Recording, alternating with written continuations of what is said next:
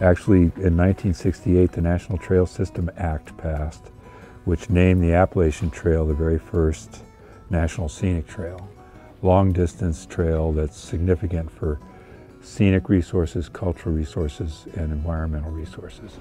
The, the law did state that they would protect, they had to protect the trail, but they were overwhelmed with the concept. How do you protect the thread between these emeralds, the emerald necklace, if you will, over 14 states? I mean, it was an immense undertaking. And so the Appalachian Trail Conference organized this big meeting down in Boone, North Carolina. Uh, Jimmy Carter had just come into office, and his assistant secretary for Parks and Wildlife, I forget the full name, Robert Herbst, came to the meeting. And we organized this all politically.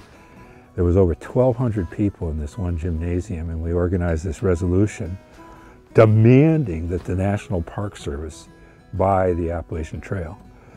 And it was just a goose pimply moment, you know, when it was totally unanimous.